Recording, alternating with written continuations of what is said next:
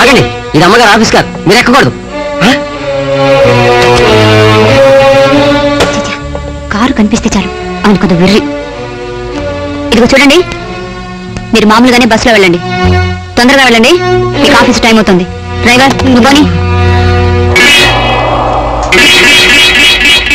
Ha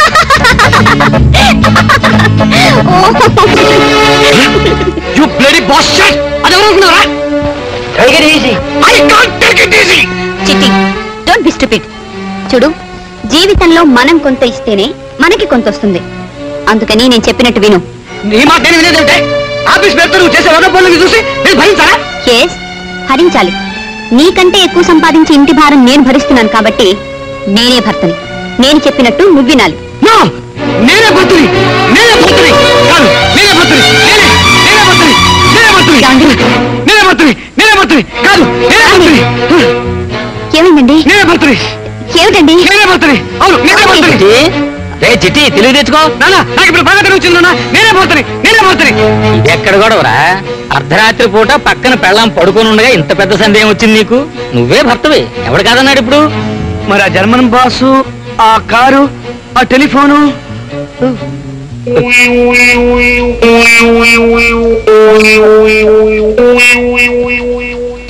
మావయ్య ఏమిటిదంతా? ఒక పావుఠావు కాగితం సిద్ధం చేసుకుని దగ్గరే ఉంచుకోమ్మా నువ్వు ఉద్యోగానికి రాజీనామా చేసే రోజు దగ్గర పడింది గుడ్ నైట్.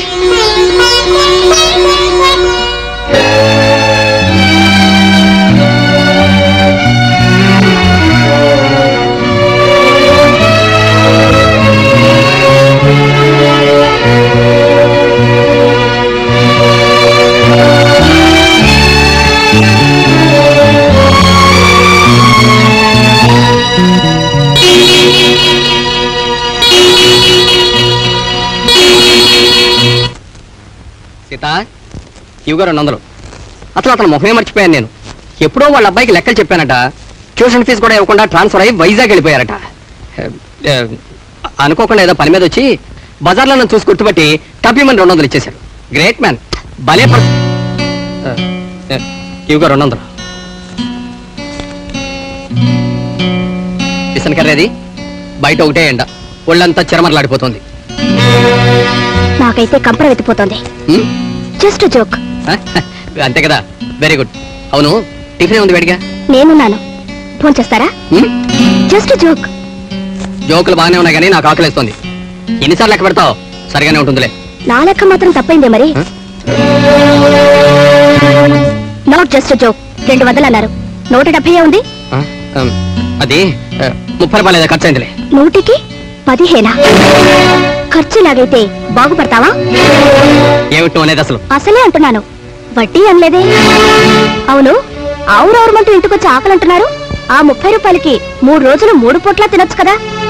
అంత ఆకలి వేయడానికి అసలు ఇప్పుడు టైం ఎంత అయిందండి టైమా? అవును ఇప్పుడు అసలు టైం ఎంత అయిందని నాకు అసలు ఆకలే లేదు. అదేమిటి? టైం ఎంతంటే ఆకలి లేదంటున్నారు? టైం ఎంత అయిందో చూసి చెప్పండి. టైము నా వాచి? మీకు నమస్కారం చేస్తాను. మరొక అబద్ధం మాత్రం చెప్పకండి. ఒక అబద్ధం మీ నోట విన్నందుకే సగం చచ్చిపోతున్నారు. ప్లీజ్. ఆడదానికి కావాల్సింది మొగుడిచ్చిన డబ్బు కదండి. మనసిచ్చిన మొగుడు. సీత. ఏం మునిగిపోయిందని మీ చేతికున్న వాచి కాపుల వాడి దగ్గర తాకట్టు పెట్టి డబ్బు తెచ్చారు. అంతకన్నా ముందు ఎందుకు నాతో అబద్ధం ఆడారు? సీత మొగుడు ఎప్పుడు మోసం చేయడానికి అబద్ధం చెప్పడు. ప్రేమతో కూడా చెప్తాడు. నువ్వు నా భార్యవి. నిన్ను సుఖపెట్టడం నా విధి. అందుకోసం ఎలాగైనా డబ్బు తీసుకొస్తా. అది నా ఇష్టం. నేను మీ భార్యని. మిమ్మల్ని సంతోష పెట్టడం కూడా నా విధి. అందుకోసం ఎలాగైనా పోయి నేను డబ్బు తెస్తాను. Sita!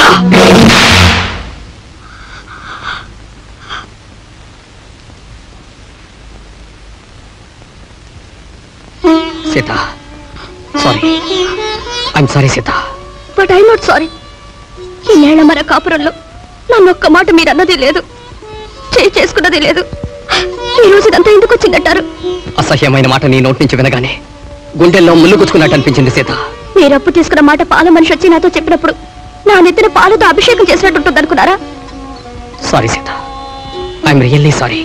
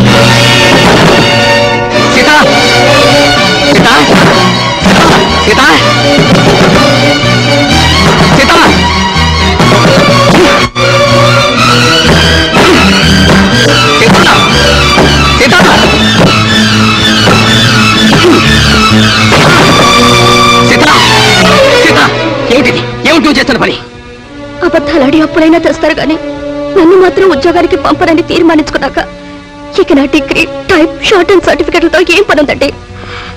అందుకే వాటిని తగలి అమ్మయ్యా నేను ఇంకేమో అనుకొని భయపడ్డాను. నన్ను నేను తగలు పెట్టుకునే హక్కు నాకెక్కడదండి నాకు తలకురవ పెట్టే బాధ్యత మీది. అంతవరకు నేను ఎలాంటి తొందరపాటు పడను. ఆకలన్నారు? వంట అయ్యేలోగా టీ చేయనా కాఫీ చేయనా ఉద్యోగం చెయ్యి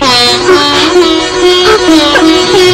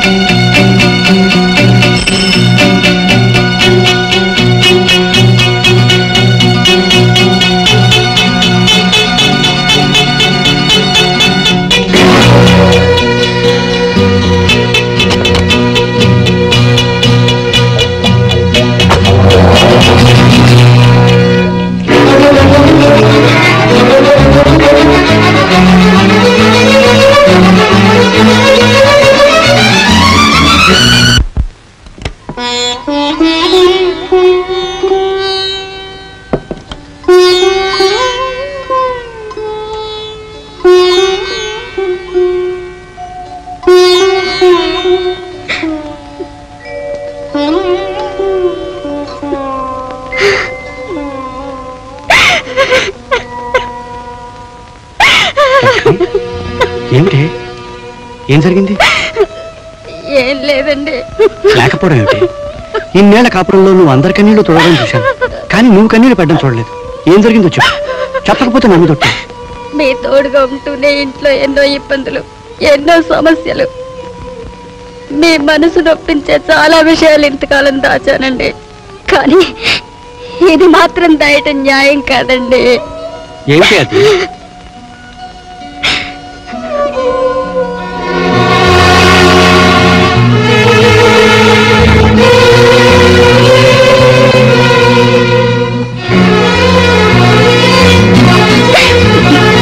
అడిగిపోకుండా మరెక్కడికి పోతుంది దుర్గా?